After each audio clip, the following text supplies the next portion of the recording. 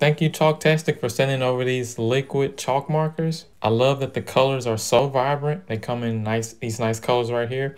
And it also comes with this chisel tip bullet that's also interchangeable just in case it gets damaged. But my son and I actually have a great time with these, especially during homeschooling. As you can see right here, he's actually writing out his name on the chalkboard that I have right here.